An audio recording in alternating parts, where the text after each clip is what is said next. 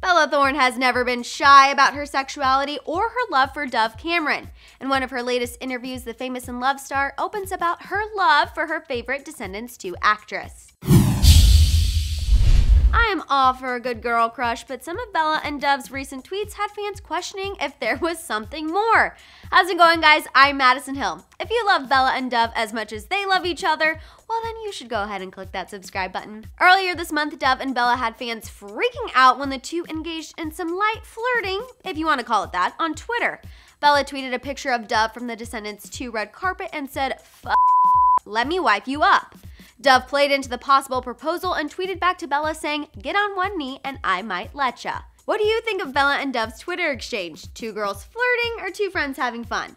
Talk it out down there in the comments. A lot of fans must have felt that the exchange bordered on flirting because when Bella stopped by People magazine this week, fans were asking about her love for Dove Cameron. Because come on, we have to know if this is real or just girls being girls. When the interviewer asked if Dove's current boyfriend Thomas Doherty needed to watch his back, Bella responded with quote, I love her. Honestly, I do want to wife her. She's just so beautiful and talented. Considering Bella is very open about being bisexual, I can kind of see her love for Dove going past just a crush. She continued talking about Dove saying, she's funny and she has this like beautiful angelic image, and it's just like, ah, Dove.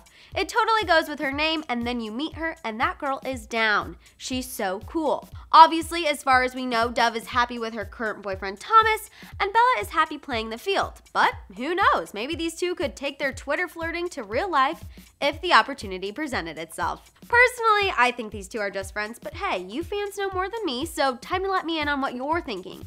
What do you think about what Bella had to say about Dove? Does it lead to girl crush status or something more? Talk it out down there in the comments. For more news on your favorite celebrities, click the boxes and subscribe.